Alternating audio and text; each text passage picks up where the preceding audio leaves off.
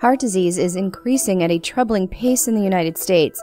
According to UPI, a new estimate in a report by the American Heart Association says costs are expected to double from $555 billion in 2016 to a whopping $1.1 trillion in 2035. AHA President Steven Houser said, Our new projections indicate cardiovascular disease is on a course that could bankrupt our nation's economy and healthcare system.